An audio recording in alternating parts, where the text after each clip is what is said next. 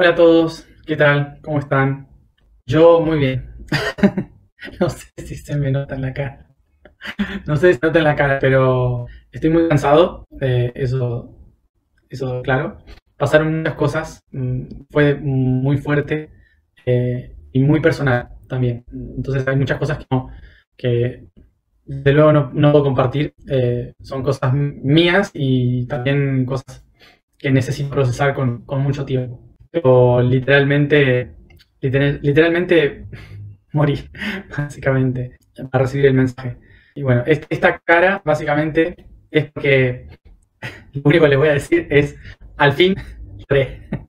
Pero lloré como, ah, como nunca había llorado. O sea, hacía demasiados años que nunca había, que no había llorado así. Eh, de hecho, el sarcófago quedó todo mojado del llanto, de todo lo que lloré. Eh, así que, bueno, eh, funcionó, funcionó. La verdad es que sí, que personalmente siento como, siento una gran responsabilidad y a la vez eh, un enorme peso menos. O sea, como mucho más ah, nuevo, podría decir. Mm, Como dije, em, sí, recibí mi, mi, mensaje del futuro, pero como dije, voy a tomarme un, un buen tiempo para procesarlo yo, antes de hablar de cualquier cosa. Y hablando de mensaje del futuro, voy a simplemente eh, ser muy breve hoy. Voy a tratar de ser muy breve, porque no estoy con demasiada energía em, para hablar demasiado, creo. En relación al futuro, lo que me gustaría simplemente aclarar y decir es que nosotros lo tenemos como si fuera uno de los tres tiempos. eh, dentro del tiempo de la eternidad, nosotros dividimos la eternidad en pasado, presente y futuro.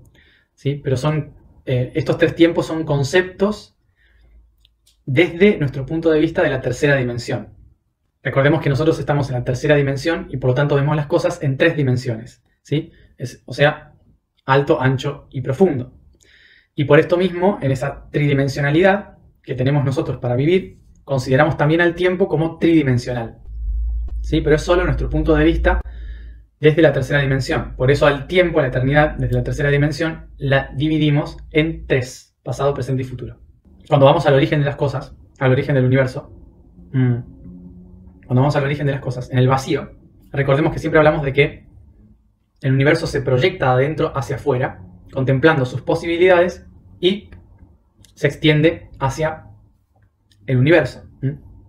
Esto significa que en el inicio del universo realmente no existe nada. Lo único que existe es la potencialidad. Y por lo tanto, el primer tiempo del universo es el futuro. El futuro es el primer tiempo del universo, podríamos decir. ¿sí? Luego del futuro viene el pasado. Y luego del pasado viene la comprensión del presente. Por lo tanto, todos, todos nosotros, todos los que existimos, venimos del futuro. ¿Mm? Porque el futuro es justamente eso, todas las potencialidades. En el inicio de todo no hay nada antes. Por lo tanto, todo es hacia adelante. Y como todo es hacia adelante, solo existe la idea de lo que va a suceder. Por lo tanto, todo es futuro. Hasta que se experimenta a sí mismo. Cuando se empieza a experimentar a sí mismo es cuando aparece el pasado. Y cuando se toma conciencia del pasado y del futuro, aparece el presente. En otros momentos hablaremos de lo que es el pasado y el presente. Pero ahora vamos a hablar solo de lo que es el futuro.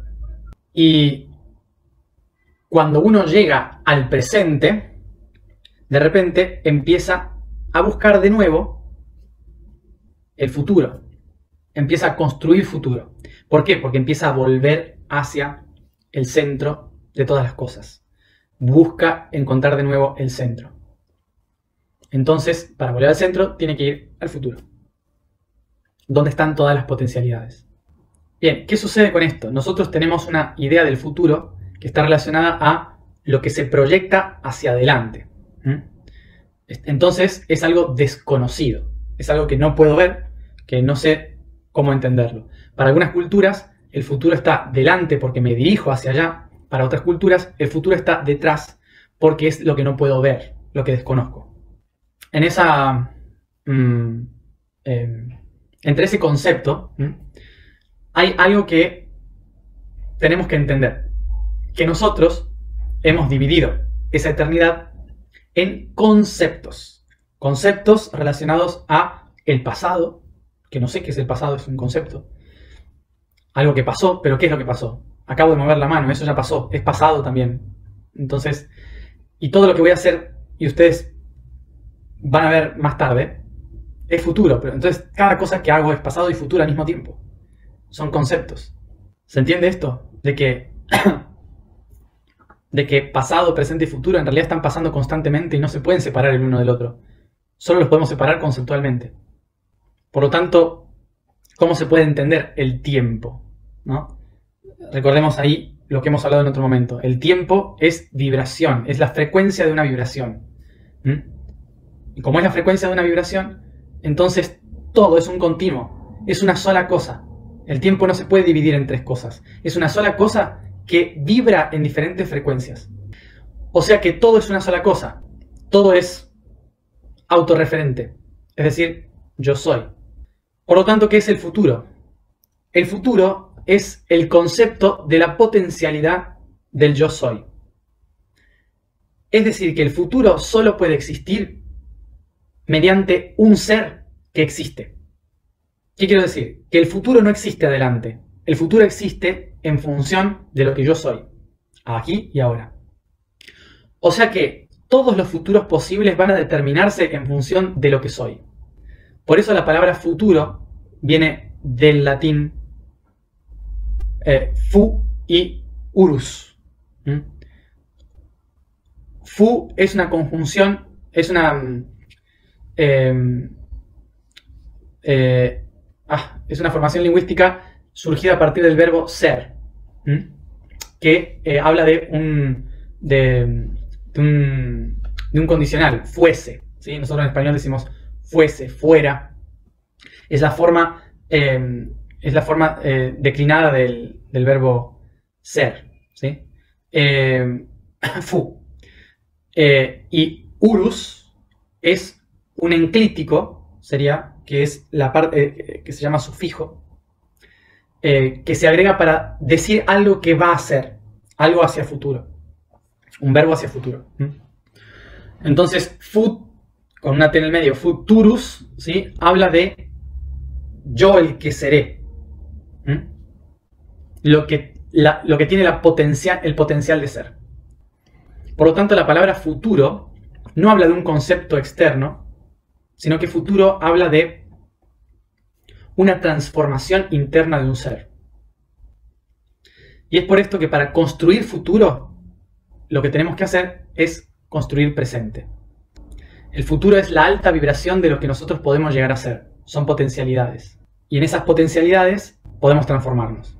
Es por esto que hay diferentes líneas de tiempo, porque depende siempre del estado de vibración, porque el tiempo es frecuencia dependiendo de cómo yo vibro, va a haber un futuro u otro. Por esto, para construir futuro, tenemos que vibrar en el presente. Yo puedo recibir la vibración del futuro, pero eso no significa que esa vibración sea determinante.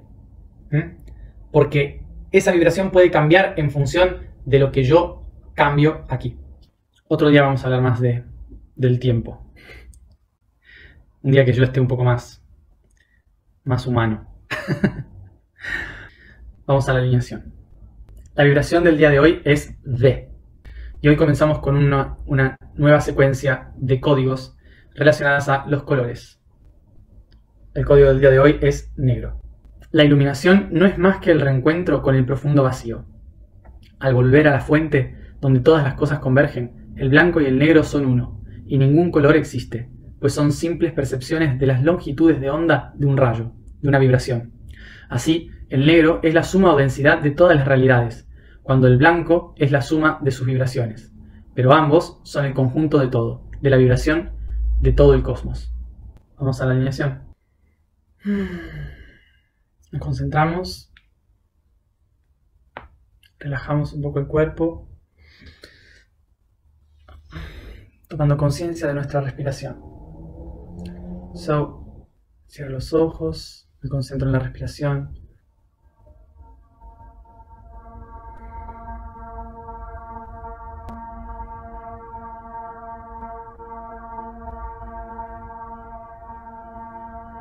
Inspiro profundo. Y me observo a mí mismo, de pie, delante de la gran esfinge, como un gran león.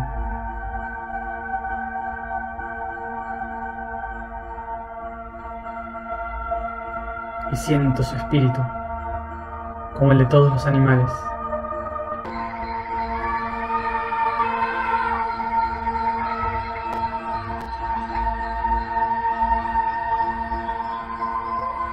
Detrás, observo las pirámides, cubiertas de blanco relucientes.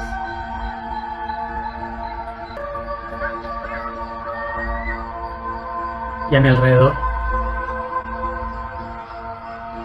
un enorme grupo de personas.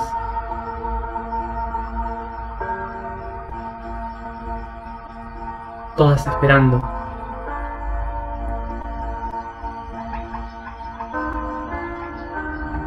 Les observo y reconozco que están esperando algo de mí.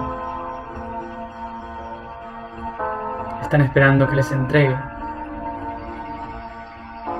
su tarea, su camino.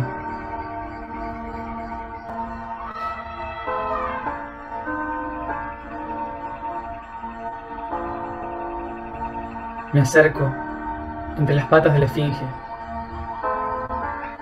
y en el altar Tomo 12 cristales de color azul.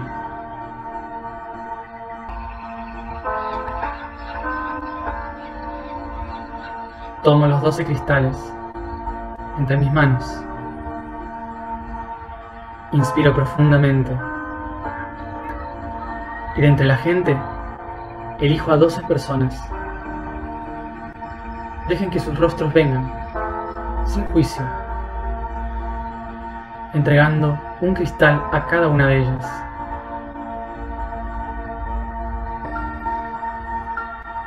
Inspiro. Aquí comienza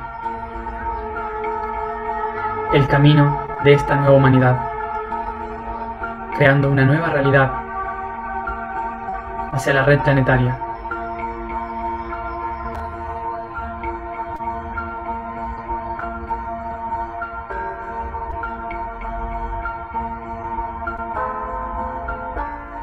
Inspiro profundo y observo los doce caminos. Uno de ellos dirigiéndose al Sinaí.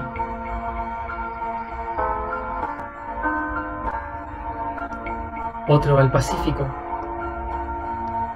Hawái.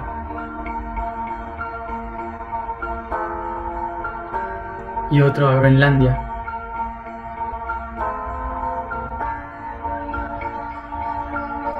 Puedo sentir el desierto, las montañas, los bosques fríos de Siberia, el mar y los volcanes de Hawái.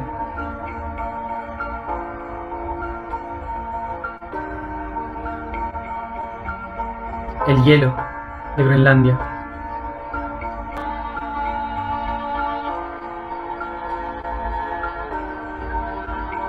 Observo aquel que toca las costas nortes de Brasil. Las arenas cálidas.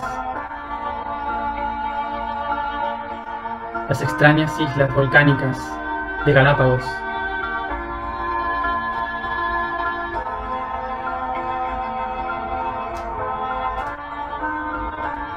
La perdida isla de Micronesia.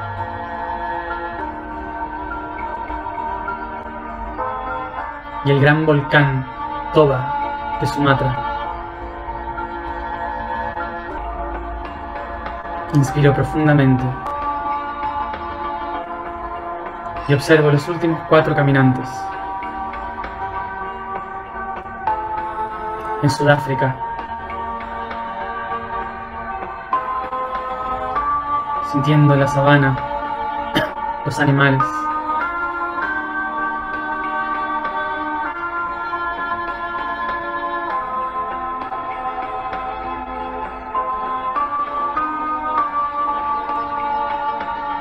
Tasmania,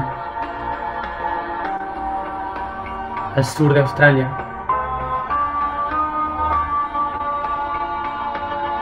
Morea, en Polinesia. Y Tierra del Fuego, en Patagonia.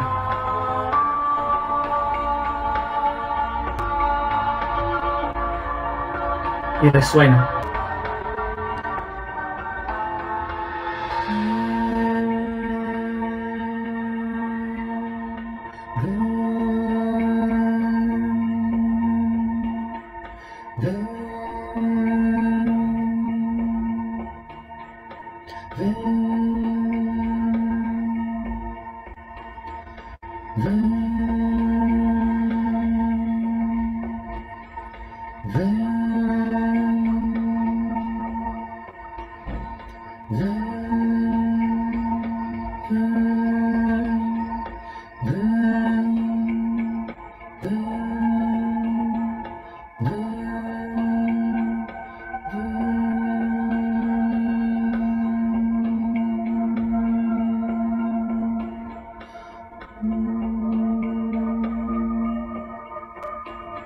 Yo soy el legado de las realidades.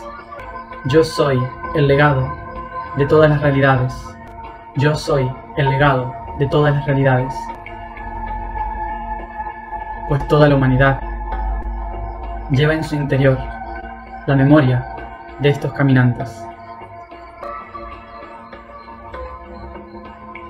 Y ahora puedo verlo. Yo veo, yo veo, yo veo. Yo soy el legado de mi pasado. Yo soy el legado de mi futuro. Yo veo, I see.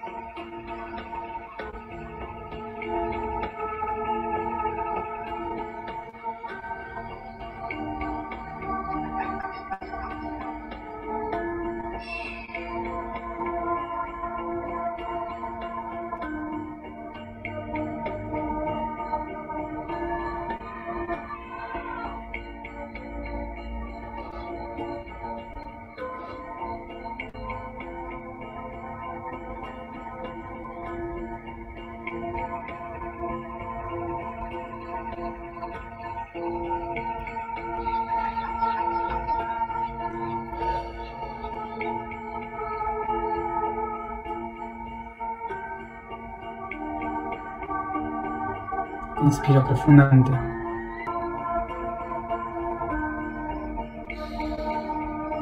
Llevando las manos al corazón, uniendo las doce realidades en tu corazón.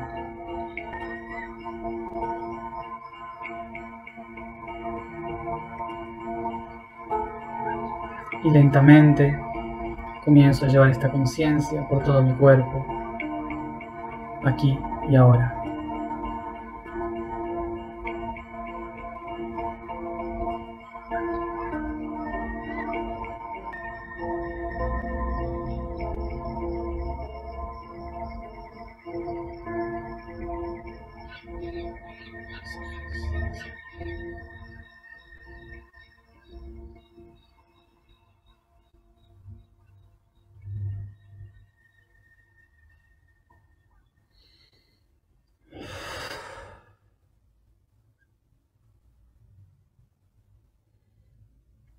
Aquí y ahora.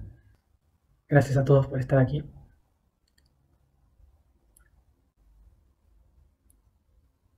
Gracias por sostener la red.